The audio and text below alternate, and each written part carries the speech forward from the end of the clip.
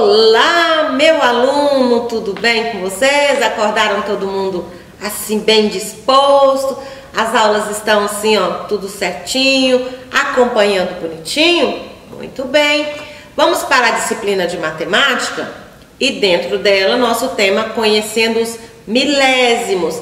Lembra que na última aula agora há pouco a professora falou também de décimo, centésimo e milésimo? Vamos conhecer o que é mesmo os milésimos? Muito bem, olha conhecendo aí. Você tem a fração um décimo. Eu posso transformar essa fração, um décimo, em número decimal. Então, como não tem uma parte inteira, eu coloco zero, porque eu preciso colocar uma vírgula para assim mostrar que eu estou trabalhando com números decimais. Então, eu coloquei o zero do 10,1. Escrevo por extenso um décimo. Muito bem. Se fosse 21 décimo, como seria esta representação? Seria o 2 a vírgula 1. Por quê? Eu sempre, décimo, eu preciso ter um número apenas depois da vírgula.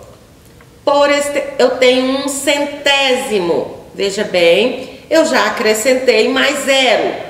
0,01 eu tenho um centésimo. Por que, que é centésimo? Porque após a vírgula eu possuo duas casas. Um milésimo, eu preciso que após a vírgula eu tenha três casas após a vírgula. Eu posso acrescentar o zero para que a minha leitura e a minha representação fique correta. Muito bem, olha aí, você tem aí a, a escrita e o número. Você tem 2 mais 0,6. Nós fizemos aí ao lado, armando a sua adição para que você entenda por que que no final eu tenho dois inteiros e seis décimos? Muito bem. Eu tenho uma parte inteira, que é o 2, e eu tenho uma parte decimal, que é o 6 décimos. Eu posso efetuar, posso a adição, a multiplicação, a divisão. Eu trabalho as operações normais, certo? Então você coloca aí o 2, como é parte inteira, lembre que eu falei que todo número que está antes da vírgula é parte inteira. Como esse 2 ele não tem vírgula, eu entendo que esse 2 é um número inteiro. Eu vou somar com a parte decimal. Então, inteiro debaixo de inteiro, professora. Mas não foi assim que você ensinou a fazer as operações das adições. Sim, lá nas adições de números naturais nós estamos trabalhando números decimais. Entenderam? Parte inteira, embaixo de parte inteira ou em cima de parte inteira, e assim eu faço a minha operação. Certo? Então, quando eu não tenho nada, eu acrescento zero. Por isso foi colocado de vermelho. Aí sim, você tem dois inteiros e seis décimos, que é o que está escrito por extenso. Em seguida, vamos trabalhar o centésimo. O que, que é mesmo centésimo? Duas casas após a vírgula. A mesma coisa, eu tenho uma parte inteira e uma parte decimal. Primeiro eu preciso saber como que foi que aconteceu, de onde saiu esse resultado. Um inteiro e 15 centésimos.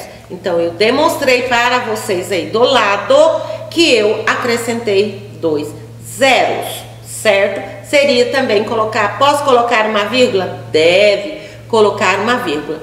Vírgula embaixo de vírgula, número inteiro debaixo de inteiro, décimo debaixo de décimo, centésimo embaixo de centésimo. Então você teve aí um inteiro e 15 centésimos, certo? Muito bem. Agora você vai verificar o que a professora acabou de falar com vocês. lá no seu livro didático, na página 96, que foi onde nós iniciamos o nosso conteúdo, e que vai até a página 100. Na página 96, vocês têm aí uma atividade, certo? Uma apenas atividade. Vamos lá? Vou fazer com vocês. Pegue o seu livro lá. Vamos fazer essa página 96, certo? Olha aí. A figura a seguir foram divididas em partes de mesmo tamanho.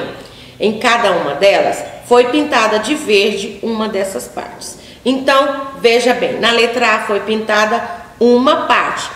Tinha 10 partes e nós pintamos uma. Então, seria o que mesmo na letra A? Um décimo. Você vai colocar aí embaixo, nesse quadro onde tem A, B e C, você coloca um décimo. Na letra B, também, só que foi dividido em 100 partes. Como seria essa fração? Um centésimo. Na letra C, você tem mil partes. Você vai representar em fração decimal um milésimo, certinho? Em seguida, vocês têm as explicações, terminando a página 96, a página 97 para você ler. Muito bem, realizou a leitura, você tem a página 98 até a página 100 para realizar essas atividades. Lembrando que nós estamos no módulo 3. Realizou as atividades, é hora de você enviar as fotos das atividades pelo WhatsApp. Um grande beijo, até a próxima aula.